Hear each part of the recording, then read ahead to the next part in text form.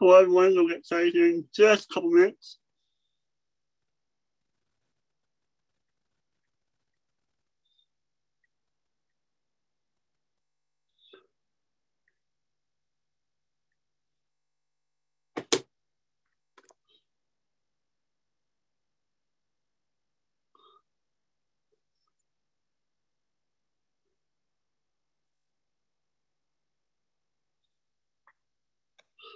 Hello, everyone. Welcome.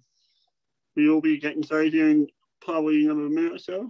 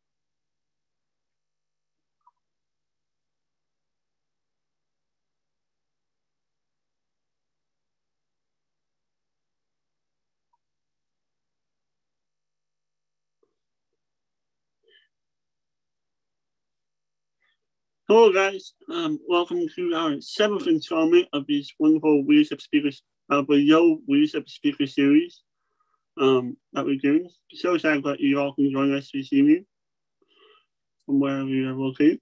Uh, I'm going to go over some accessibility basics for you on Zoom. Um, we do have captioning in the toolbar. It should be a CC button. Um, it's, you just click on it and say show subtitles, and you should have it. Also, we'll be putting links in the chat um, for screen text if you want to view your captions on that side. Or we also do have um, our wonderful ASL ASL interpreters. Um, they are available and they will be on the screen with us throughout the evening, doing their amazing job. Next slide.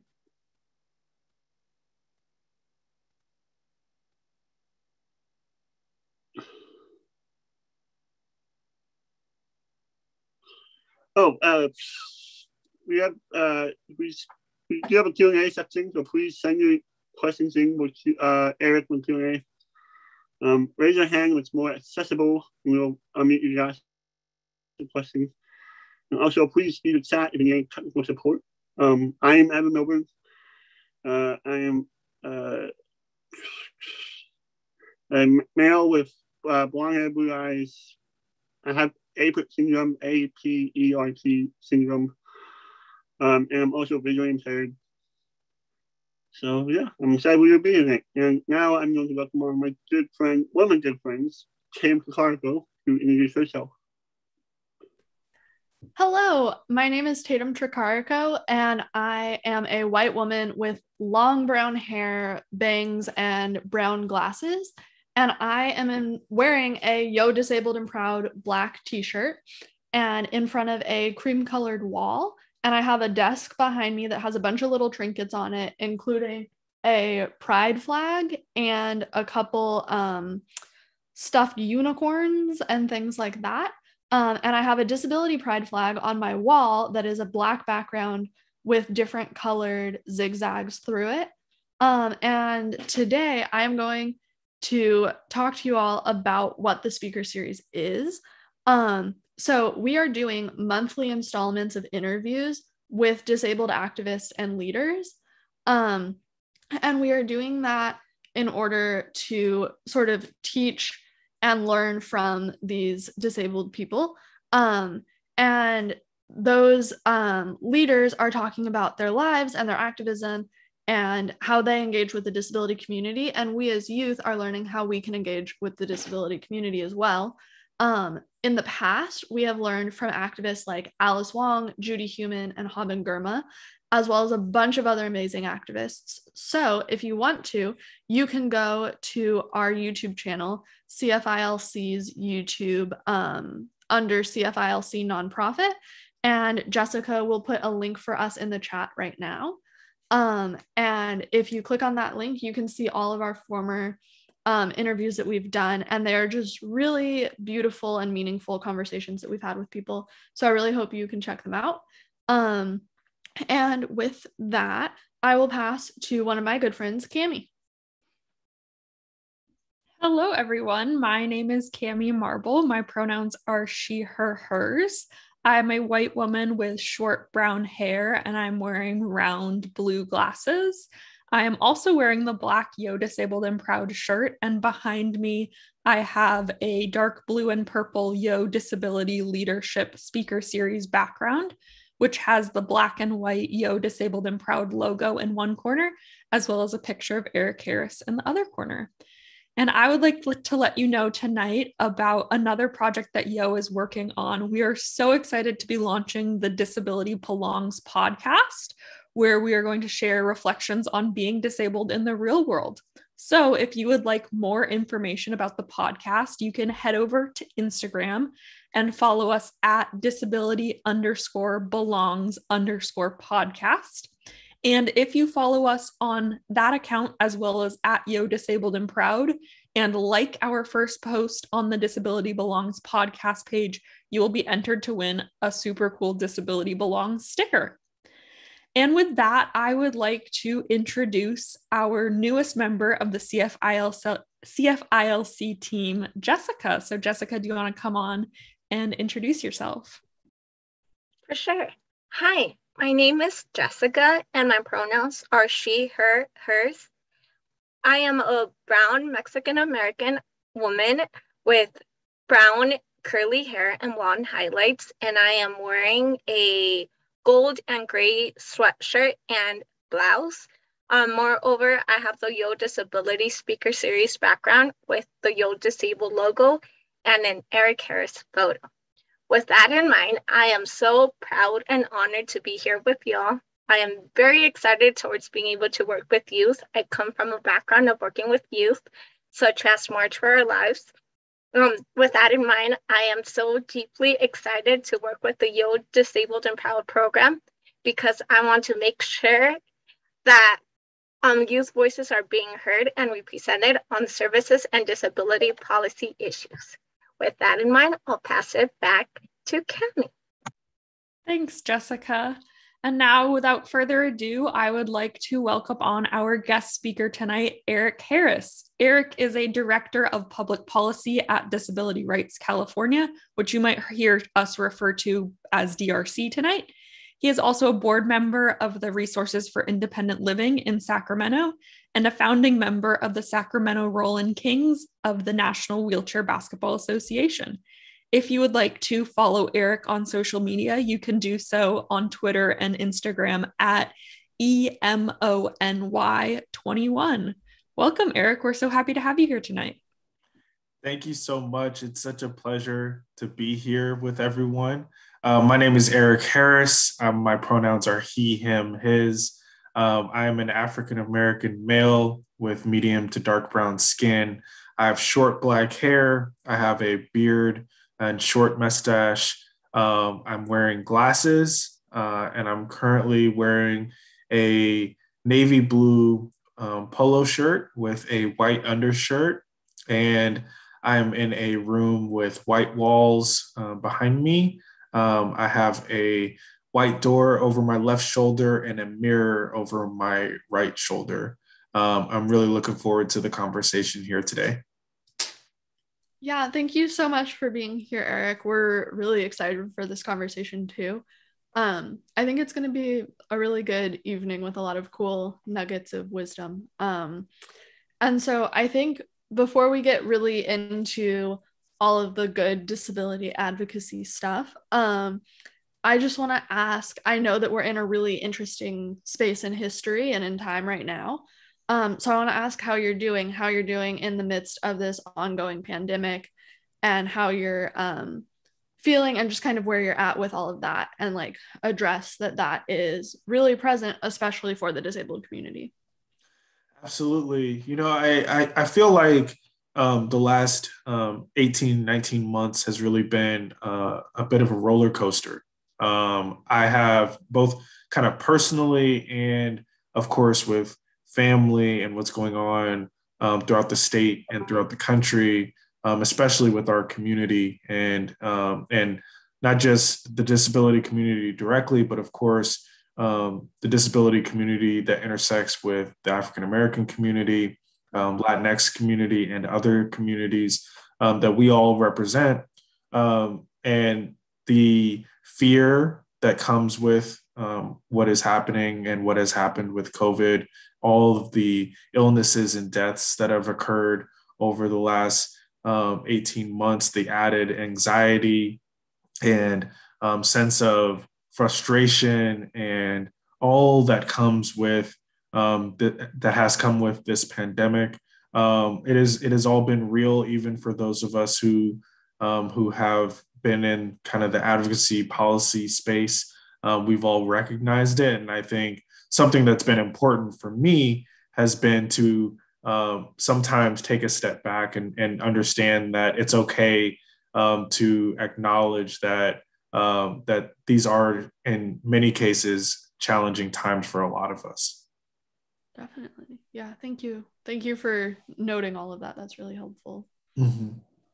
I think before we get too far into the interview, could you give us a little bit of information about what exactly is Disability Rights California and what is your role there? Absolutely. Um, so, Disability Rights California is a protection and advocacy nonprofit agency here in the state. Um, our role is to advocate for all people with disabilities in California.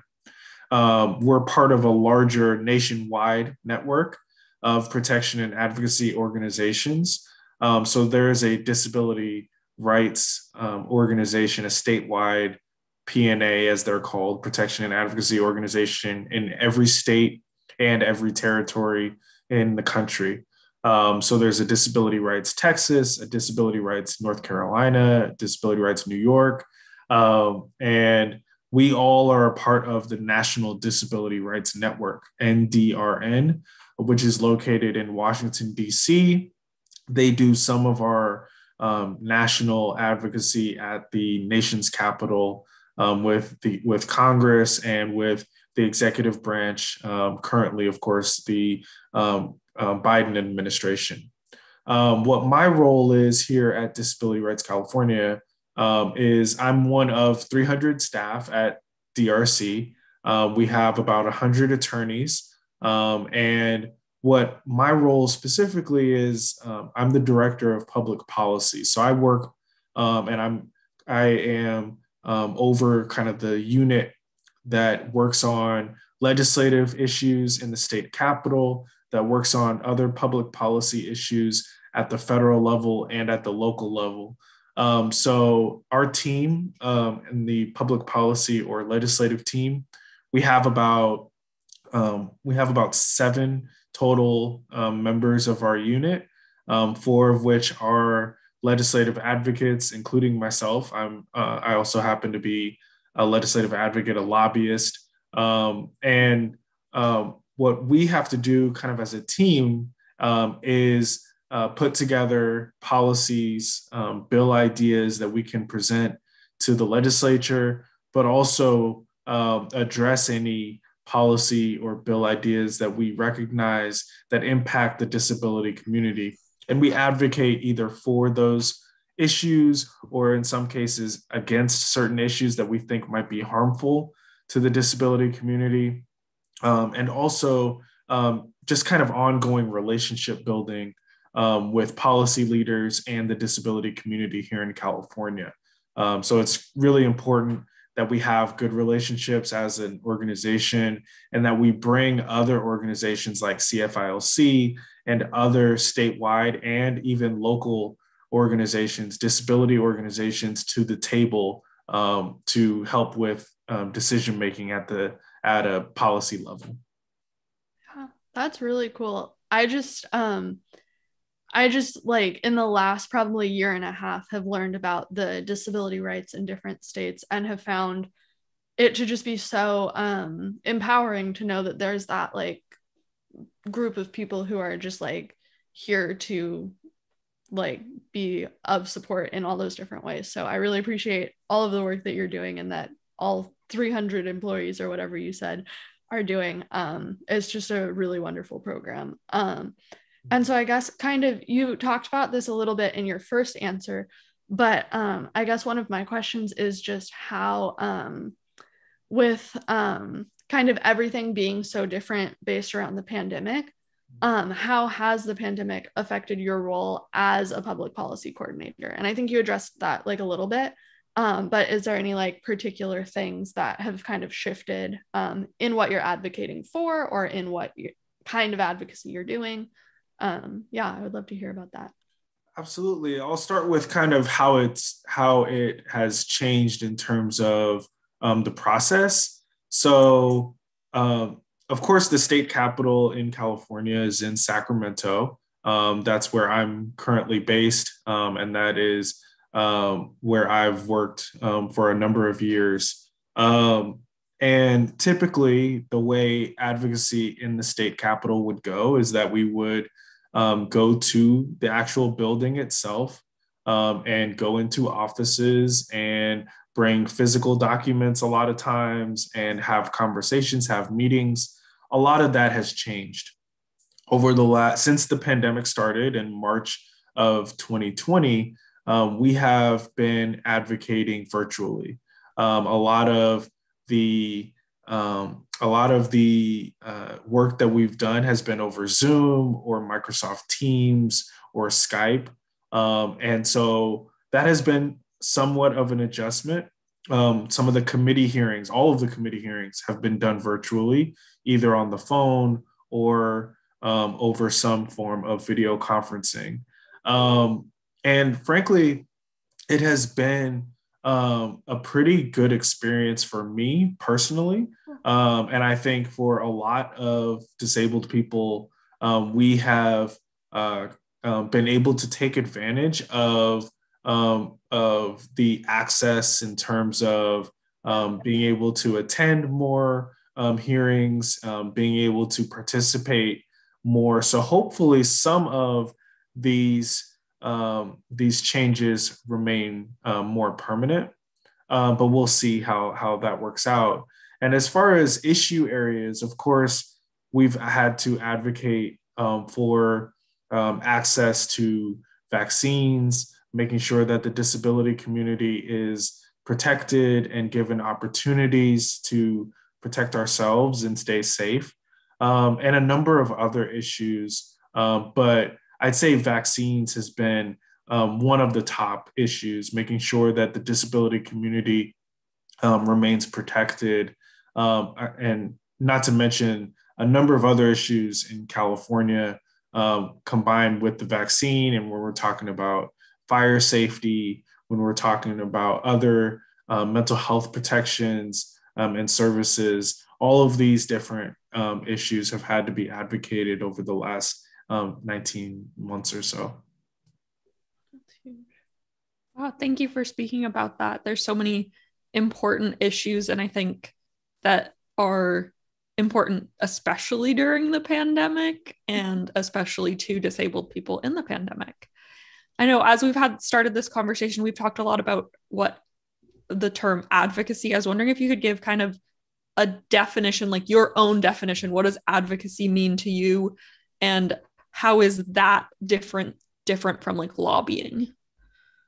So yeah i would say they're they're honestly very similar. Um, advocacy is communicating in any way um, whether it's um, verbally whether it's through um, writing whether it's through um, collective kind of gathering. Um, it is communicating um, um, rights, whether they be civil rights, disability rights, um, for groups of people. Um, and it can include yourself. One of the cool things, um, and I know I'll talk about this a little bit later, but one of the cool things about advocating for the disability community for me has been I, of course, have a disability. I was born with congenital hip dislocation.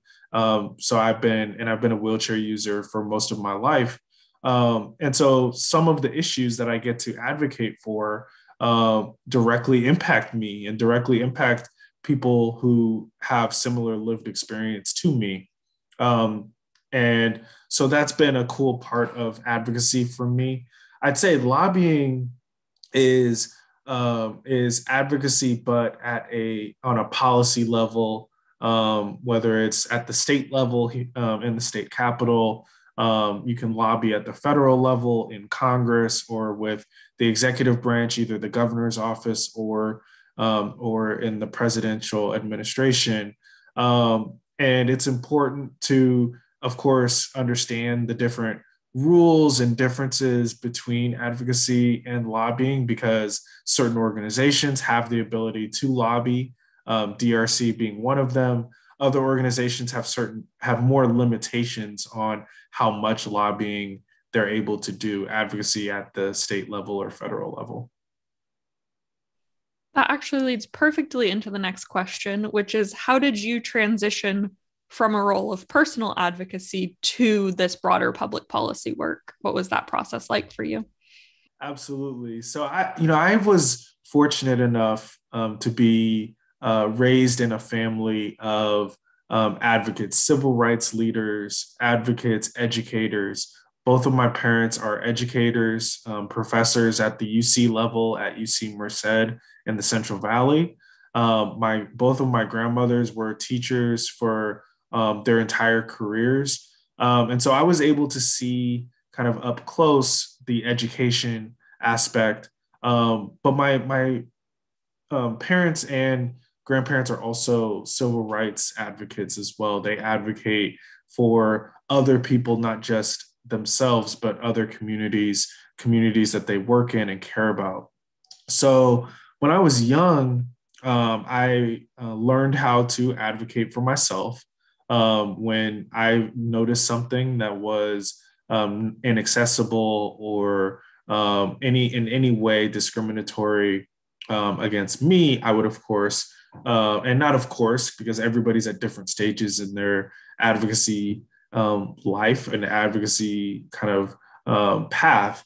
Uh, but I learned at a pretty early age that it's important for me um, to speak up um, and to communicate if I um, feel like I'm being treated unfairly. Um, and that changed for me, honestly, when I started participating in adaptive sports. I started playing wheelchair basketball when I was in high school and met a lot of other um, kids in with disabilities. Um, and I started playing uh, in a with a program um, in Berkeley, California, known as the Bay Area Outreach and Recreation Program. They really encouraged me um, to advocate on you know issues um, at an even higher level when we would be traveling from one part of the country to another or attending events together. Um, I really just felt motivated um, to advocate for my friends and my competitors and colleagues um, and that really kind of got got me started down the path of advocacy at a different level, more than just advocating for myself, but advocating for others too. That's really cool. I really love um I don't know, just that story of how you like were able to like figure it out through your family and through just like learning how to do that. Um and I think that kind of brings up a question that we were you you talked a little bit about it so if you want to say more on this um we were kind of saving for later but what um what was it like to sort of be part of that adaptive sport um experience was that something you said you like grew up doing a little bit of it and like i don't know i would just love to hear more of what that's like and how that's like played an impact on your life um broader than advocacy, but also if it's played an impact there. But yeah. yeah. Absolutely. So I have always been involved and interested in sports. Um, from the time I was a little kid, I played able bodied sports. I used leg braces growing up. So I would play basketball and baseball and tennis and golf. I would I would play every sport that I could because I um, I just thought it was fun and I enjoyed being a competitor. Um, and when I was in high school, I was introduced to wheelchair basketball, which honestly changed my life. It it put me down a path of um, of advocacy and being a part of a disability community that um, that I've now embraced, of course, um, throughout my life, and just um, it's where I've I love working and and and experiencing. And so I uh, started playing wheelchair basketball when I was in high school. We were one of the best teams in the country at the time. We won a national championship um, when I was a junior. Um, I got scholarship opportunities to play in college. I played at the University of Arizona um, for five years on scholarship and was able to travel more all around the country and, and even internationally to play um, and developed a friendship and relationship with other young people, other people with disabilities. Um, and um, it encouraged me to to advocate at a higher level. Um, I um, still, you know, um, participate in some forms of adaptive sports. Most recently, playing for the Sacramento Rolling Kings wheelchair basketball team here in Sacramento, uh, which was, you know, part of the National Wheelchair Basketball Association, um, and also played for the San Francisco Wheelchair Giants uh, wheelchair softball team. Um, and so I still find it very fun and keeps me active and involved. Um, and also, um, I still stay in touch with a lot of my friends from throughout the country um, who all played wheelchair basketball, wheelchair sports, men's and women's players who we, we all stay in touch. Um, most recently, watched the um, Paralympic Games, which were in Tokyo. they, of course, were, were postponed um, until uh, later um, after 2020. They, they just happened a couple months ago. Um, but a lot of my friends who play wheelchair basketball and other sports, um, it was really, really fun to be able to, to watch them and kind of keep track of what they were doing because a lot of those players are still good friends of mine. That's really cool. I love, um, yeah, I just really love that. I love the ways that like that just kind of brings up like that disability community and like I don't know, I'm not a huge sports person, but it's still nice to like hear that story of just like connecting with people and like being able to do I don't know, stuff that you want to do. That's really cool. Um and I think also kind of leads into a question that I really wanted to ask you personally um of kind of this idea of like self-care and like caring for your mental and physical and emotional well-being in the midst of advocacy work because I am um yo disabled and proud youth um in the disability movement or whatever and so I am as are the other three of us four of us or whatever um and so we're just all kind of like budding activists right now hoping to do advocacy work and so I'm wondering how you kind of um I don't know, hold space for yourself in the midst of all of it. Um, because I know it can be really hard. And so, is there like, I'm assuming that wheelchair basketball and different sports and things of that nature, and like paying attention to the um, Paralympic Games and stuff like that um, is part of that. But um, I'm wondering if you could talk to us more about like that sort of like self care, but also like emotional and like rest space that you give yourself. Yeah, you know, um, because I've been fortunate enough to be in this space um, for a while, um, I've developed really good friendships and relationships with other advocates um, from throughout the country um, who all I all, I admire all of them. Um, I know Haben Girma is somebody who spoke um, to you all previously. She's a good friend of mine. Um, Judy Heumann is somebody who I've looked up to forever. And every time I'm in her presence, even if it's over Zoom, I get chills because she's incredible. Um, um, and there's so many, um, so many others who I've been able to to be close with. Lydia XZ Brown, who's been um, somebody that I've known for about a decade. Emily Ladau, also somebody that I've known for a decade. Um, and these are all people who have been involved in this movement um, for a really long time, even though some of them are are really young. Um, and you know, my uh, you know one of my mentors, um, our executive director at DRC, um, Andy Imparato, um, who's been um, a disability advocate for decades, um, is someone who I know that I can always reach out to to talk about issues that I might be seeing or experiencing. So all of those folks really help me kind of keep things into perspective. And then I have a really supportive family support system and friends who um, always kind of keep me um, grounded and keep me on track. Um, and if I'm ever feeling um, uncomfortable or going through a difficult time, they're always able to um, to kind of help me um, and keep me kind of headed in the right direction and keep things into perspective. Um, and then, you know, of course, that along with enjoying the some of the fun things that I like doing, like uh, watching movies or watching, and of course, not being able to do this in person um, the same way that we were able to before. Um, but I watch a lot of shows, listen to a lot of music, um, stuff like that. Being able to read books um, and um, and talk about some of those things with with others who I know enjoy those things as well. Thanks for sharing that. I know community has been such an important aspect for me and such an exciting part of being a part of Yo Disabled and Proud.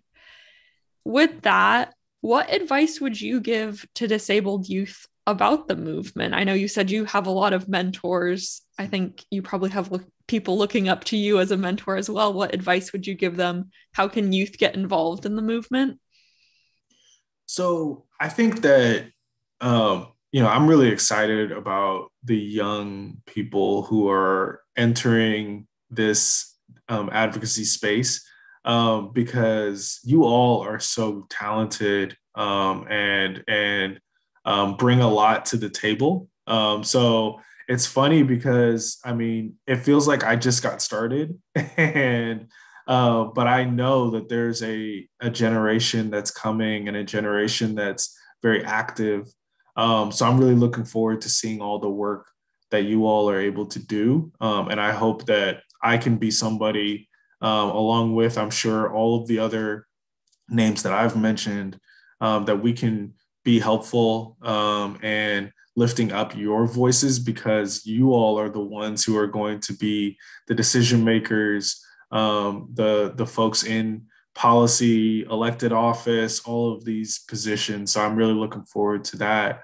Um, social media, of course, um, is a way where you can stay connected and be connected with people, not just in your community um, locally um, or your state, even, but nationally and even internationally. Something that um, really helped me um, was when I was in Washington, D.C., meeting people with other disabilities from other parts of the country and other parts of the world who also were advocates and cared about disability justice, disability rights. Um, it was uh, a really great experience for me um, to be in an internship at AAPD, American Association for People with Disabilities, um, and room with somebody um, who had ADHD or who had a hearing impairment or who had other disabilities, because it really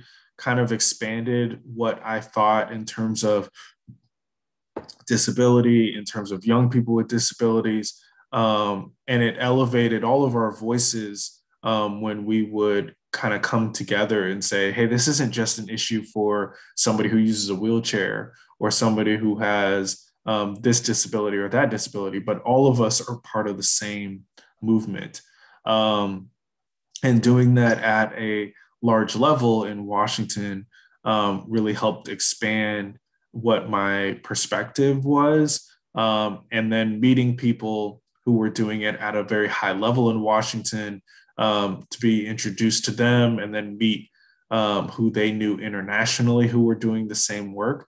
So I really encourage um, young people to um, interact as as often as possible with other advocate leaders, with other advocates in um, different communities, um, and doing it over technology through Zoom or through social media is a really good way um, to do it and to amplify all of your voices.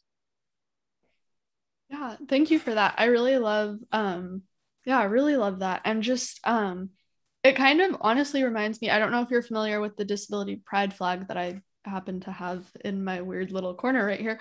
Um but the um each of the lines represents a different kind of disability and they're all they all run parallel to each other to show the um like solidarity of and then the zigzags are the barriers that we face. And so to show kind of the solidarity of disabled people together um, has just been a really huge thing in my life. And so i really um, i really appreciate you commenting on that. And it's helpful for me to kind of remember at the forefront of my mind in going into advocacy spaces. Um, yeah. and i want to ask i think it kind of ties into that coming alongside each other really. Um, but with you as um, this advocate at Disability Rights California, um, I'm wondering, like, I know that all of you at Disability Rights California sort of come alongside people who are disabled in the workforce or in education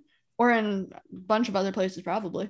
Um, and I'm wondering if you have any advice for people who are facing ableism or needing to advocate for accommodation in those spaces. Um, I shared on the last interview, I think, and I'll share now that I um, just consistently throughout my life have experienced a lot of educational ableism um, and continue to go up against that. I'm functionally blind and so need things in braille and need things accessible and all of that. Um, and so I um this is just a very like helpful question for me as I know is a helpful question for so many people um kind of what advice you have for people who are facing ableism and facing um yeah just discrimination or a need for access and are not getting those accommodations. Yeah, absolutely. Um, you know, as I mentioned earlier, all of us are at different stages of our advocacy um, kind of life or career. Um, and that is totally cool. It's totally fine for some of us um, to be at a space in our lives where um, we're able to advocate for ourselves in a, a very kind of vocal way. Um, and then others who are in maybe the earlier stages where they're, you know, kind of um, navigating this process and navigating advocating for themselves for the first time and just kind of what that might feel like. I think the first thing is to um, remember that there have been a lot of people over decades who have advocated for disabled people. Um, people like Judy Heumann, um, who um, were literally on the front lines um, and literally put their bodies um, in the way of um, of discrimination uh, and um, and so many over decades who um, spoke to um, access and accessibility um, of course leading to the 504 protests leading to the americans with disabilities act. And so at a on a kind of a basic civil rights level it's important that disabled people recognize that we do have um, these rights. We do have these civil rights. We do have um, reasonable accommodations rights. Um, and so it's important first to kind of keep that in mind.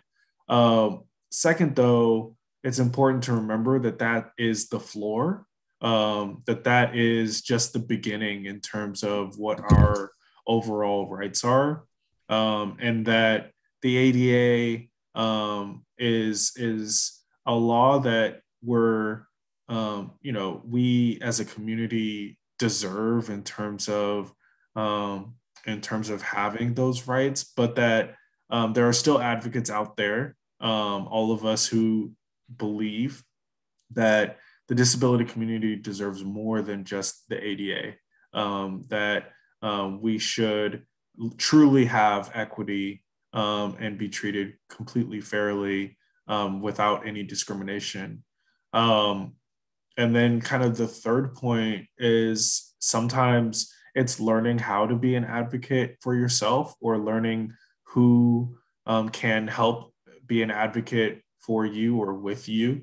Um, and knowing that you're not alone in your experiences. There are so many throughout the country um, and really throughout the world who've experienced discrimination in different ways based on their disability, based on race, gender.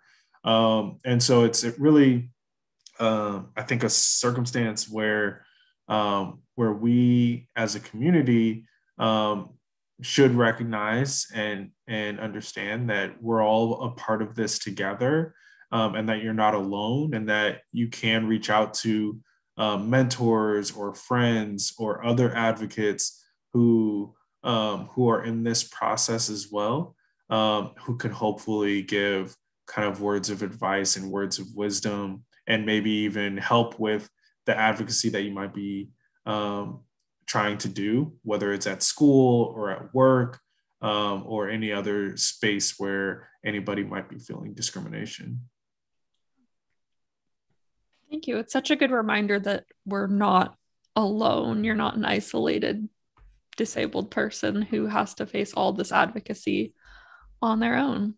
And with that, I think you started to touch on this kind of the idea of intersectionality or multiply marginalized identities. How has the intersection of disability and race impacted your life and your work and as, as an advocate? And how has it impacted your leadership as well? Absolutely. So, um, of course, being an African American and being born with a disability, I have lived in both intersections my entire life. I've always been an African American. I've always been a Black man. I've always been a per- person with a disability.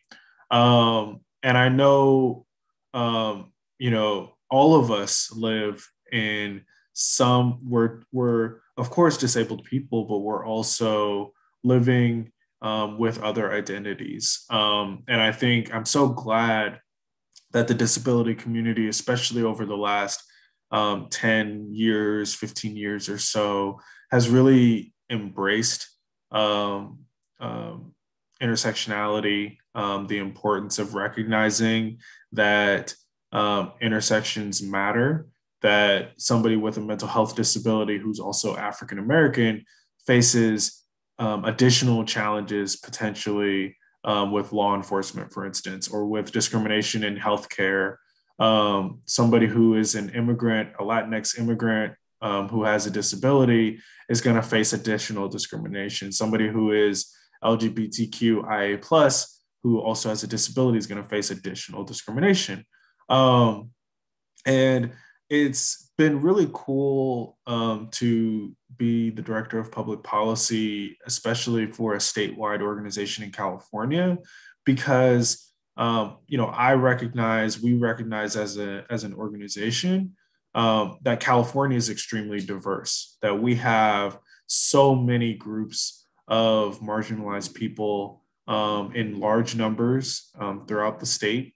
Um, of course, being the most populated state in the country um, and really, really diverse. Um, it's been great working on policies, working with organizations um, that might represent other marginalized communities on the issues that we care about from a public policy standpoint.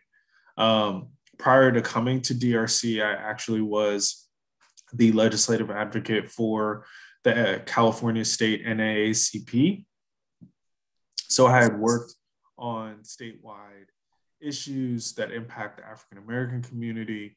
Um, and while I was there, I would always think about disability issues because um, a lot of times issues that negatively impact um, African the African American community, like COVID, for instance, also negatively impacts the African American community that also has disabilities.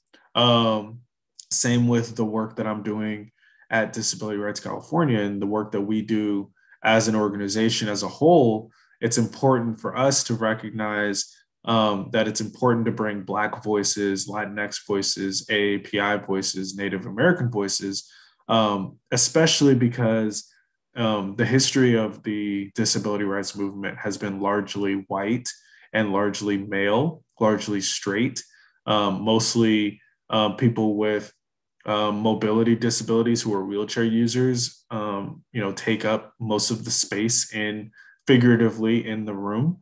Um, and I think that it has been crucial that we've brought in voices from other marginalized groups in the disability community um, because those issues need to be at the forefront as well. Those those voices need to be heard, um, and it's really important um, from a disability justice standpoint, disability rights standpoint, um, that all of these communities are um, brought to the table.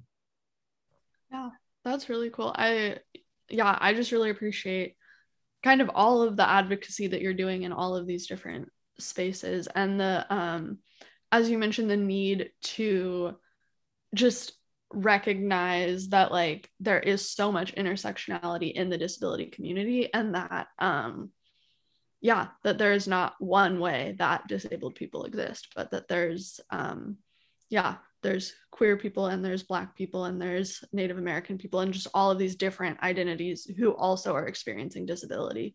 Um, is just a really beautiful thing when we get it right and very sad when we miss the mark on that um, because it doesn't feel like the fullness of who we are. So i think um, i want to kind of pop in because you were talking about some of the public policy um, work that you were doing and ask what um, kind of what policy issues are um, is disability rights california working on right now? And like what um maybe like what are some of your things that you're working on or your biggest interests or like just what's what's going on in the world of public policy and disability? Absolutely. Um so in california um, we have a legislative session that runs from january through um, really september uh, first week of october. Um, so our legislative session just ended, um, at least at the state level here, and it's different for every state. Um, and we had a number of issues um, that we were advocating for um, and against in some cases um, this year. Um, we advocate on issues impacting the intellectual and developmental disability community, mental health, long term care and supports, education, public safety, all of these different issues are really voting rights. All of these issues um, are issues that that we have um, experts in, and we give input um, at the um, different policy levels, local, statewide, and federal. This year, we had a number of issues that we really um, felt were crucial um, to advocate for, and that we had bills going through the legislative process.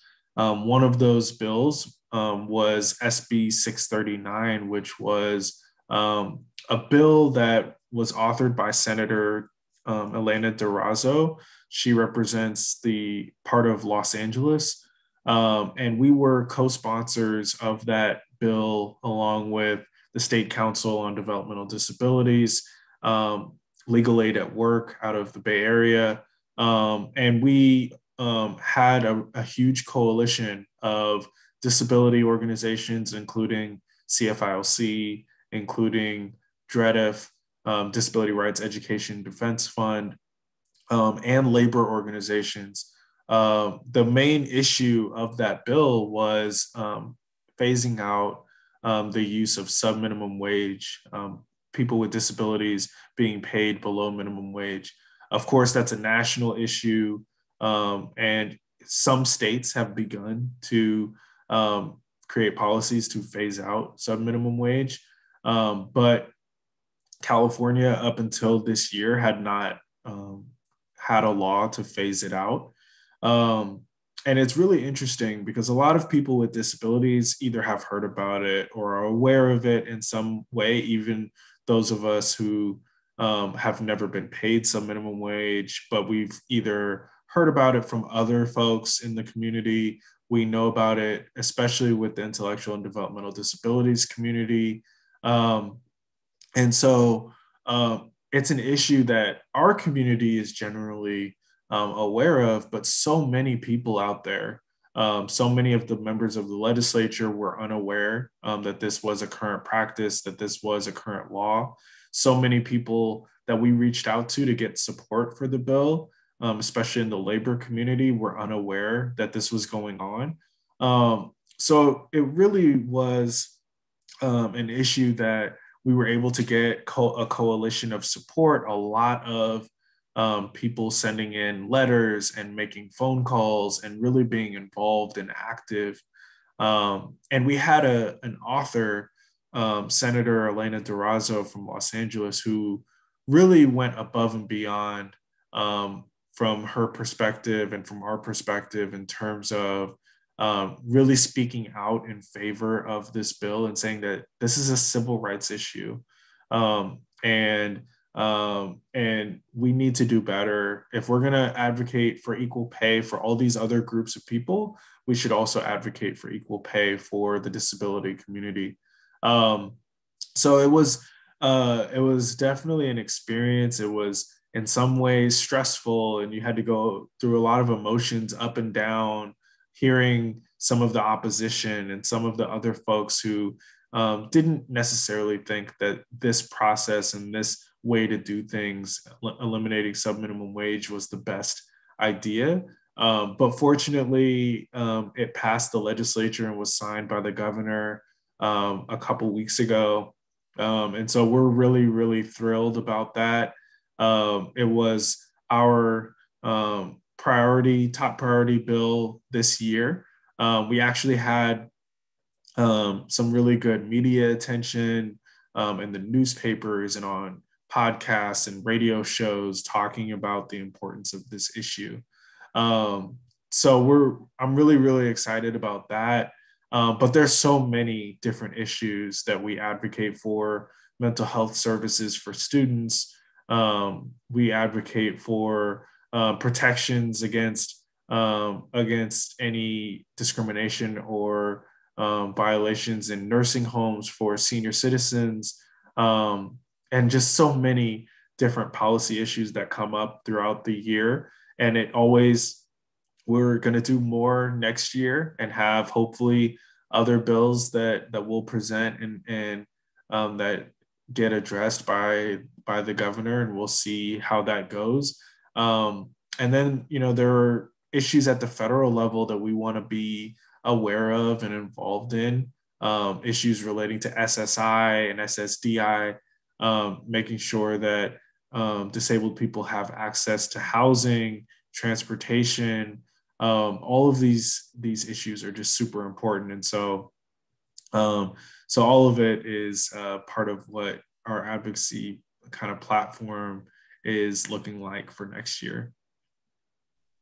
Thank you for all of that information. It's so great to hear what you're advocating for, and I think it's exciting to hear when things have passed and all that work you put into it was successful. This is kind of switching gears a little bit, but how has your advocacy work changed over time? Have you noticed differences with social media now and people getting involved in that way? Has that changed the work that you do? You know, I'd say that social media has been a big um, part of the change. It's allowed all of us to access um, people that we might not have otherwise been able to access, information that we might not have been able to access. But I think one of the most important, and it hasn't been a huge change, it's just been something that I've emphasized um, in the work that I do and the work that we do as a team, is really getting community input on um, our ideas and on what the community actually needs.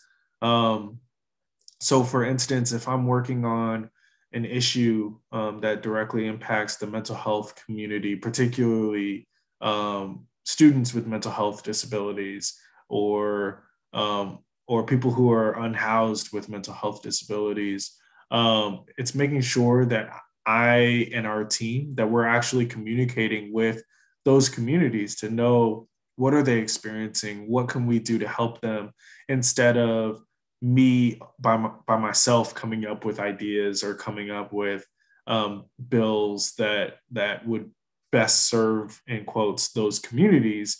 Um, but actually finding out directly from them what is it that we can do? How can we partner? How can we work together? Um, and so i think that's been um, something that i've really tried to emphasize even more um, and really trying to encourage other people that i work with to consider um, that as well. Thank you for sharing that we are just about getting ready to transition over to q&a so i'm going to bring evan on to start that and as a reminder for our audience, you can throw your questions into the Q&A feature for us to ask Eric. So I'll hand it off to Evan for the Q&A. Thanks. Thank you. Oh, wow. Okay, that's me. Um, so uh, we, you talked a lot about mental health uh, disabilities, but um, I believe we have a question from Sophia in the chat about, I mean, in the Q&A section, sorry, um, about like these uh, uh, DIC or the Disability Resource of California, hopefully I got that right, um, do a lot of stuff with invisible disabilities, such as mental illness, such as um, stuff that you may not see on the surface. Absolutely. Thanks, Evan, for that question. Um, so we have a um, several attorneys who are experts um, in mental health advocacy, um, have worked in mental health for a really long time. We also have um, members of our staff who identify as um, individuals with mental health disabilities. And so we really um, try to develop a strategy to best serve um, people with mental health disabilities. Um, and one of the bills that we actually had this year was SB 14, authored by Senator Portantino. Um, and the bill addressed uh, mental health services for students with disabilities and, and excused absences for students with, with mental health disabilities. So we, we definitely um, try to prioritize um, mental health as one of the issue areas that we want to um, continue to do positive work in. Um, so it's definitely an issue that that we uh, keep in the forefront. Thank you. Um, I, I mean, so much to me, just pers- not only like because I'm a just playing this advocate, but I also um, it's I make I try to make it common knowledge that I do have um, I've been battling depression and anxiety for ten plus years, and I've I've seen that I've also have friends who uh, have mental uh mental health disabilities, so I've, I've seen the effects on it firsthand, much less on myself from just growing up and battling it. And, but uh, question we have is, uh, is there uh, inclusion for people in uh, with disabilities and emergency planning and dis- disability uh, uh, disaster response, like uh, BRC prior- uh, priority area? Because now that we got the power shutoffs coming back on, yeah, we got the earthquakes, we got all these different crazy wildfires. Is that is that a priority for you guys too, or?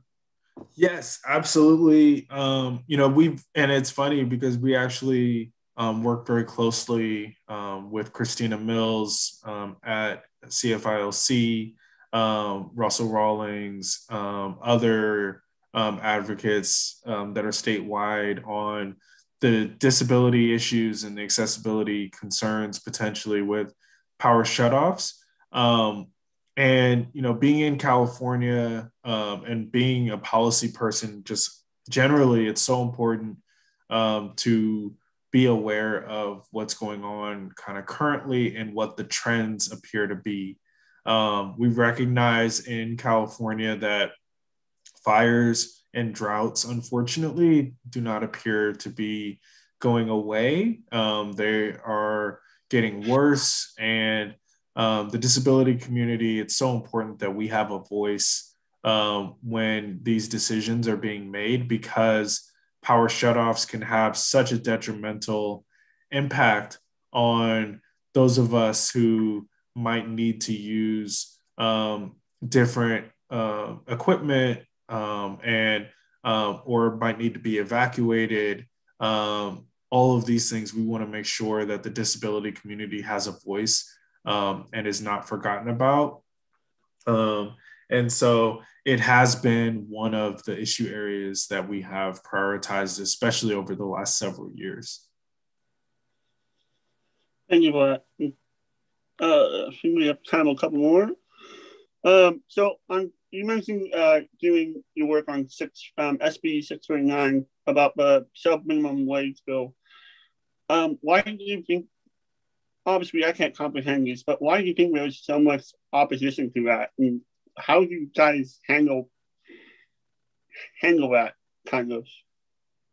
Yeah, absolutely. So um, that was honestly one of the it's one of the difficult things about policy work is even if um, you believe in the organizations that you work with and the author all believe that the issue that you're working on and advocating for is common sense um, and would definitely benefit the community that you're advocating um, on behalf of, um, there are circumstances where others might um, have uh, either disagreements or have other experiences. So for SB 639, we had some um, parents um, who were concerned because they um, believe that eliminating subminimum wage jobs could potentially um, force their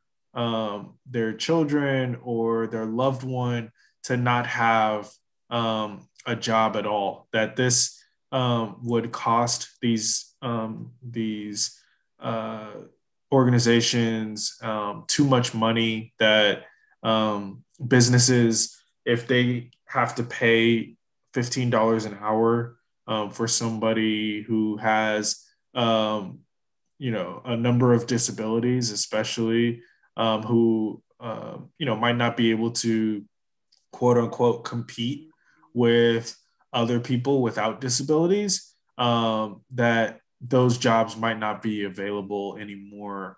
Um, and so that's why, in part of our negotiations, we had to uh, postpone the implementation of this phase out until 2025. So, unfortunately, we had to kind of give a few years so that companies, businesses could make the adjustment and prepare for um, for this implementation and this phase out. I know a lot of self advocates, a lot of advocates, family advocates, and others uh, would say, hey, you know, DRC, Eric, why don't you guys just implement it immediately and let's get on with it? This is a terrible um, law and let's, you know, do away with it right away and start to phase out next year. Um, but it's part of the negotiation process and part of our acknowledgement that for some businesses, it is going to be difficult for them to address, adjust um, and and pay um, um, minimum wage um, to um, all of their disabled employees. But we uh, so that was kind of part of the back and forth and why there were some who um, who did oppose that bill, but it didn't uh, discourage us. We know that that's just part of the policy process. All right, I have a, I have a couple more questions. And actually, I think one of my um, uh, one of my uh, coworkers has a question for you. But um, as a as an avid basketball fan, um, I, I have to ask: This is this opening night for basketball. Um, what do uh, are you? First off, are you a Kings fan? What do you think about chances this year? oh man, so I um, I am a an avid basketball fan. Um, it's funny because um, my uh, my brother, um, we're all and and my fiance, we're watching um, all the games uh, this week. We're really excited, um, and uh, you know some of the the NBA players have been um, so great, gracious, and and um, acknowledging adaptive sports over the years. Um, so I'm excited about about this season. Excited to to see all the fun, entertainment, and competitiveness. Um, as far as uh, the Kings, I I am a Kings fan. Um, and unfortunately, it's been a long time since the Kings have been good. Um, not since I was in high school, and now I'm, you know, long since high school. Um, but I have, you know, the beginning of the season is always a time for hope. You uh, kind of keep your fingers crossed, hope that everyone stays healthy, and kind of see how things go. Um, but I'm just excited to be able to watch um, watch the sport. I think it's a fun um, sport. It's cool to see athletes do incredible things, and and so I'm really looking forward to to that part of it. Uh, but what was your second question again, Evan? Yeah, I, uh, pretty much what's it? I guess what's the experience being an athlete as being a disabled, being a disabled athlete, and being a fan of like be, going to say like going to the um, Golden One Center or Arco Arena. If from a if those don't know, that's the old team arena before the Golden One Center. Yeah. Um, but what was it? What's it like for you going to those games as a disabled athlete and as a disabled person? No, it's it's really cool. I'm actually I'm really glad you asked that question because um, it wasn't long ago. Um, you know, I'd say 2005, 2006, um, when uh, a lot of my friends and I we weren't able to watch wheelchair basketball on TV. Um, there wasn't. We felt almost like we were um, we were pushed to the side and not included. Um, and uh, now you can watch the Paralympics on cable TV. Um, you can watch replays. They have videos. Um, and attending some of these games, um, you know, as an athlete and comparing wheelchair sports to um, to able-bodied sports is really really fun. Um, I uh, I, I honestly believe that wheelchair basketball is the most beautiful sport to be able to watch. I think that it's a perfect sport. Um, and all adaptive sports are really, really fun and cool to watch. So I'd encourage anyone, whether you're really interested in adaptive sports or if you're um, just curious, um, I'd encourage you all to check out highlights um, of the Paralympic Games or highlights of other um, games. And uh, there's adaptive sports programs even for beginners in communities all throughout the state. So I'd encourage everyone um, to look into it and, and see if it might be something that they'd be interested in. Yeah, Now I'm going to invite uh, Jessica back on the screen because I believe she has a, a question for you. Yes. For one, I really wanted to thank you for being here. Like, I honestly have felt encouraged and like at, uh, aspired with everything that you have done. Um, I do have, I guess, more of a personal question, and um, you mentioned a lot of the intersections of how like there's so many issues that are happening that intersect with one another that uh, like specifically affect um, all types of disproportionately impacted communities. So mine goes more so as someone who is part of the disabled community, but also part of like the immigrant community, like a big issue is oftentimes like the sense of fear of like being deported, like once going to the doctor, getting that t- type of support.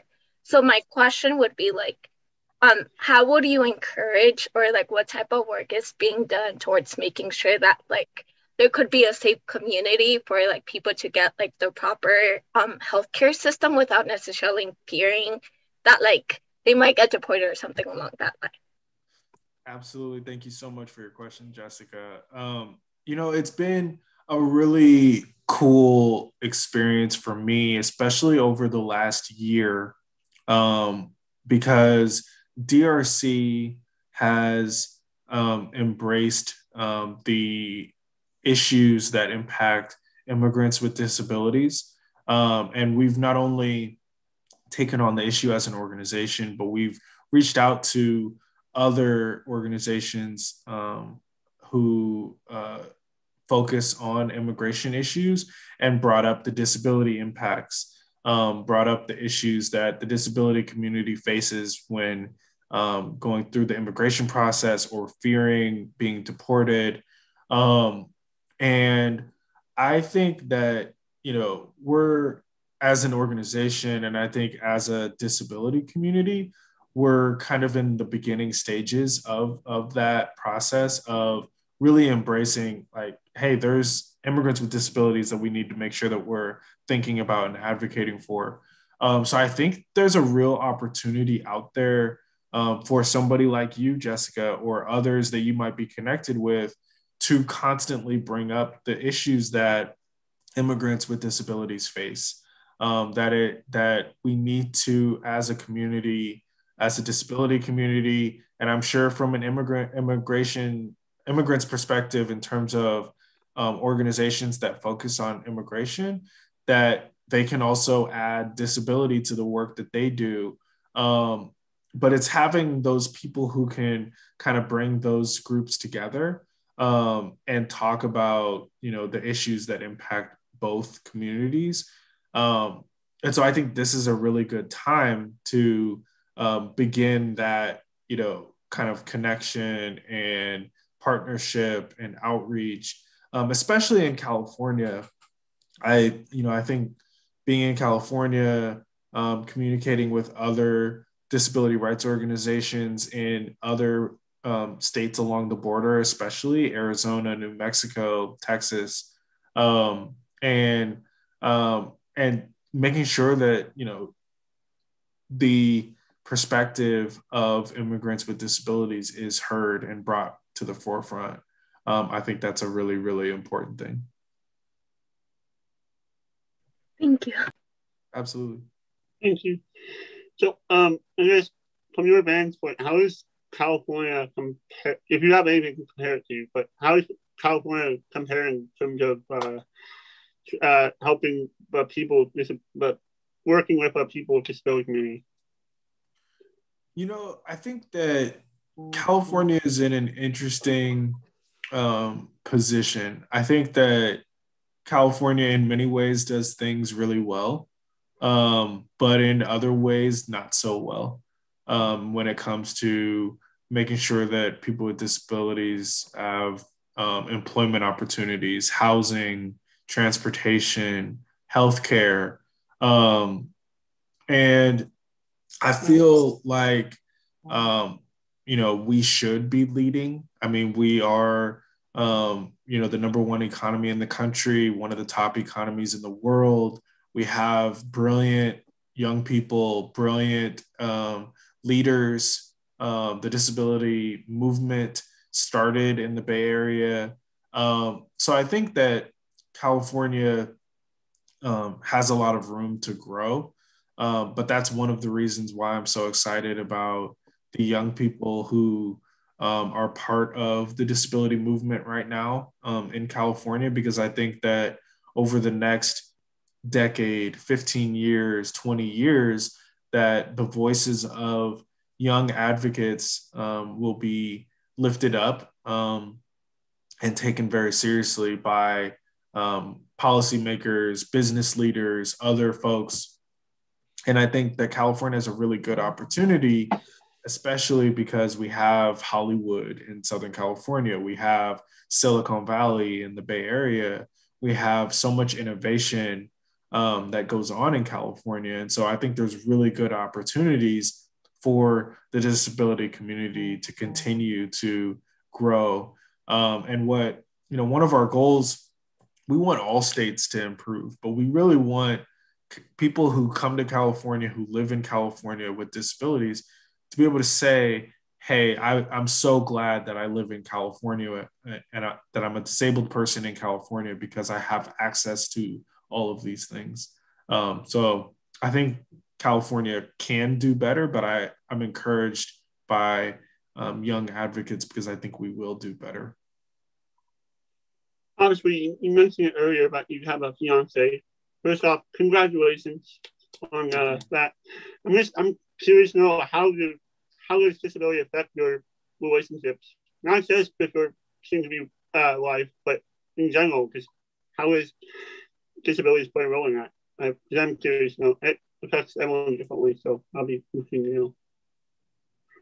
No, yeah, we're we're super excited. Um, and something that's been pretty cool for me um, and her, honestly, is um, she has embraced her own disability identity. Um, she um, embraces her mental health disabilities um, when she might not have otherwise before. Um, but because I'm, you know, in this space and because of the work that I do, she's felt more comfortable being honest and speaking about it and taking pride in it, which has been wonderful for me.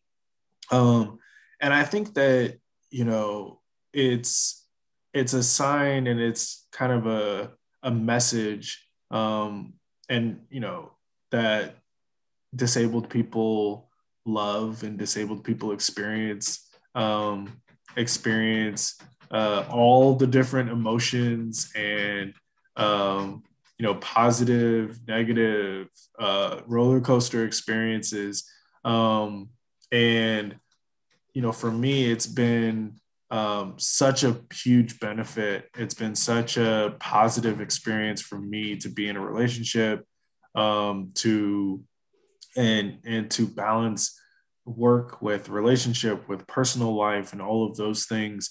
Because sometimes um, and i know this question was asked really early on but sometimes you can get really caught up um, in advocacy if you do it all day 24 7 so it's so nice to have um, a person or people in your life that can help you decompress um, so i think that that uh, that's something that's really important for disabled people to um, to consider and to keep in mind as we're all going through um, going through different different things and um, advocating and, and personal life experiences. Thank you for that, Eric. Obviously, thank you for the evening. It's been a very scintillating, very scintillating conversation, um, both you and me and uh, with Tatum and Tammy. I'm going to invite them back on now. Absolutely. Um, Thanks, to just wrap up here. Uh, so um, we're wrapping up here, but before we do, we just want to take a minute to say thank you, obviously to Eric, because taking time out of his busy day to uh, come talk to us about his work as public policy director, his uh, wife as a Kings fan, how we can help carry out his message, so on and so forth. Um, obviously, have amazing mentors at CFILC. Now we have Jessica to add to that list. Um, we're, we're all we're all very excited to have her and sharing our expertise and support and assistance in putting this event on. And finally, I'd be remiss personally if we didn't thank, our amazing ASL interpreters and our captioners for providing access to me to all of you guys. So I, I greatly appreciate you guys are unsung heroes of this event because without you, we won't people won't have access to the event. So you guys are very important. Um, so please follow us on social media. Um, follow Yo on social media. Uh, our Twitter handle is follow at Yo Disabled Proud or hashtag at Yo Disabled Leadership. Um, we're on Instagram um, at um, Yo Disabled Proud on Instagram or at hashtag Yo Disabled Leadership. We also have a podcast thing that's coming up. Yeah, that thing. Just at Disability Belongs, Disability underscore belongs underscore podcast. You might want to go follow that because there's exciting news coming out, coming, coming soon with that. Um, and then we're on TikTok at Yo Disabled Proud. So, you know, next event next month is Emily White White Whiteout, Whiteout. Hopefully, I'm saying it right. I'm going to apologize in advance for butchering her name.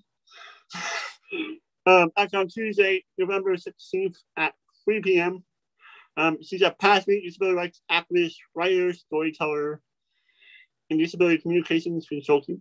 Um, she was awarded the Policy Hearne Leader Award from American American Association of People with Disabilities, and she's finally the editor in chief of a Rooted in Rights blog, a uh, platform dedicated to amplifying uh, authentic narratives, about experience through an intersectional lens.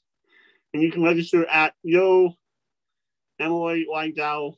Apologies for butchering her name again. Hopefully she won't hold it against me. and yeah, thank you for all being here tonight. And uh, please come again next month. Yeah, thank you so much. Good night. Good night.